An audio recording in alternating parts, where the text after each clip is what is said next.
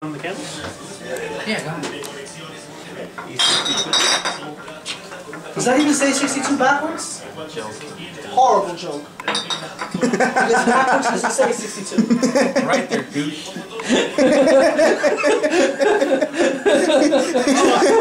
You blew out his candles. You ate his birthday cake the other day.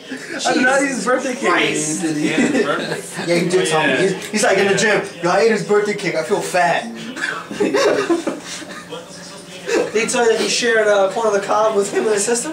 Ah, damn, son. Ready? Oh, dear. Yeah. One, two, and dos. Happy birthday to to you. Happy birthday, dear Felipe. Happy birthday to you. Oh, the camera. Red for you. Oh, go, go, go, go, go, go, go, go.